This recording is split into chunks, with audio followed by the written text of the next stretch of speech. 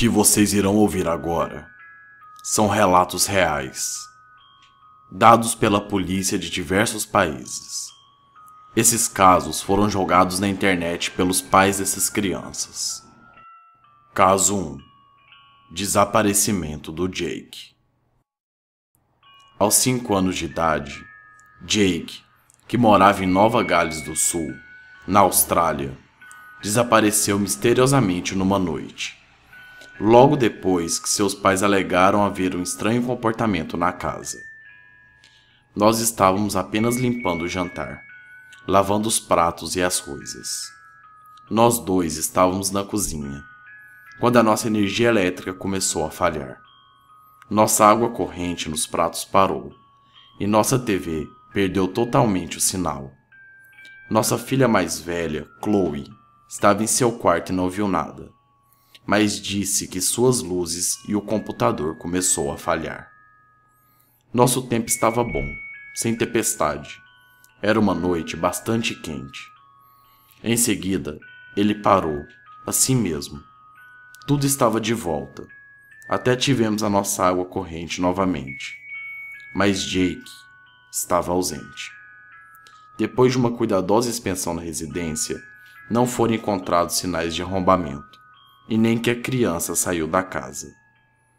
Depois, foram descobertas algumas imagens perturbadoras que foram desenhadas por Jake. Elas teriam sido feitas o mais tarde antes da interferência elétrica bizarra ocorrer. A família relatou que ele estava desenhando essas coisas por dias. Ele nunca parava. Eu não gostava deles.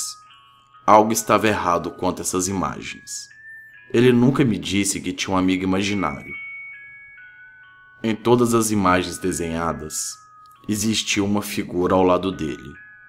A sua altura é drasticamente maior do que a árvore perto da casa. Suas pernas são finas e seus braços muito longos.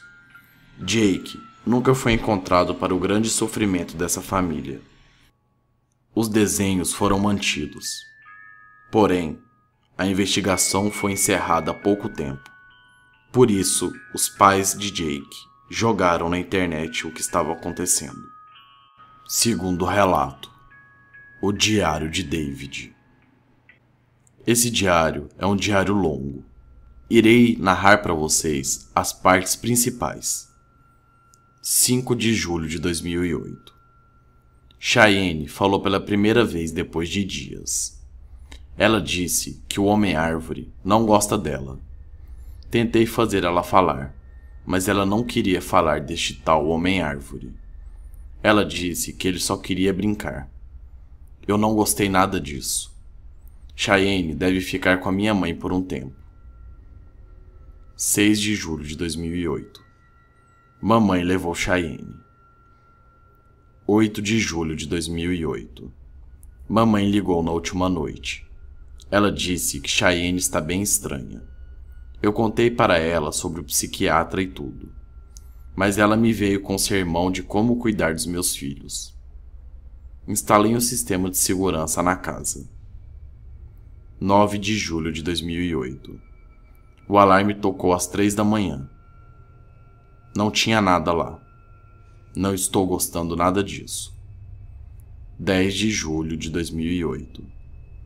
Quando estava descendo as escadas, achei um desenho de Cheyenne na porta da frente. Não sei como ele chegou até aqui. Só sei que eu não coloquei isso aqui. Estou pensando que preciso me mudar. 12 de julho de 2008. Cheyenne voltou hoje e parece estar pior do que antes. Minha mãe disse que ela não quer fazer nada o tempo todo. Só senta no sofá resmungando sobre um tal de homem-árvore. 13 de julho de 2008. Ontem fiquei no quarto de Cheyenne para esperar este tal de Homem-Árvore. Mas uma coisa insana acabou acontecendo. Eu estava quase apagando quando ouvi um som muito alto de frequência. Uma estática terrível. Estava vindo de um dos walk-talks de brinquedo da Cheyenne.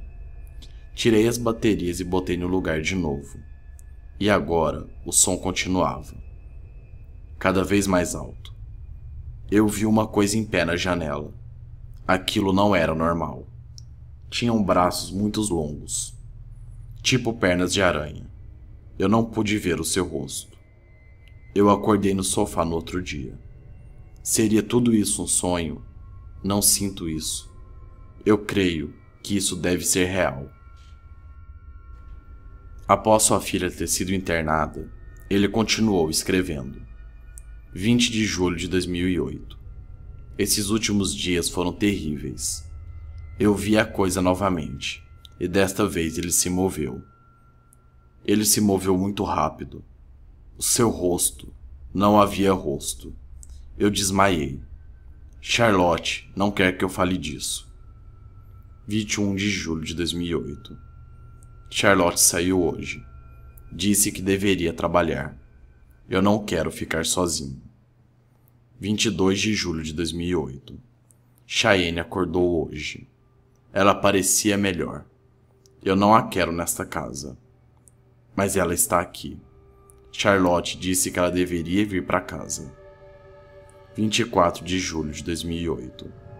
Eu acordei hoje e vi Cheyenne fora de nossa cama. Eu corri procurando ela pela casa.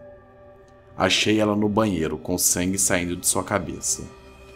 Ela não parecia estar machucada. Ela não disse uma palavra. O que será que está acontecendo? 25 de julho de 2008. Ele vive na floresta atrás de casa. Eu vi, eu vi ele olhando para mim. Eu sei que ele está lá, mas ninguém acredita em mim. Ninguém consegue me entender. 26 de julho de 2008. A coisa veio de novo, mas não deixei ele pegar Cheyenne.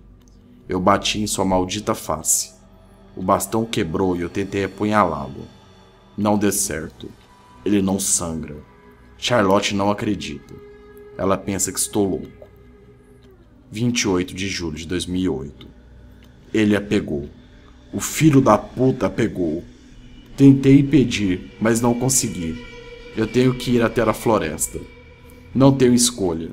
Não vou deixar aquela coisa ter a minha filha. Data irreconhecível. Charlotte, eu te amo. Vou pegar nossa filha e não vou deixar ele a levar. Ele nos vê. Eu te amo para sempre. O homem e sua filha permanecem desaparecidos. O caso foi encerrado. A menina dada como morta. A única coisa que resta como evidência é o seu diário e a página desenhada pela sua filha. Este vídeo que irá passar agora é um vídeo que está rondando pela internet há muito tempo sobre uma suposta aparição do Slender. Veja.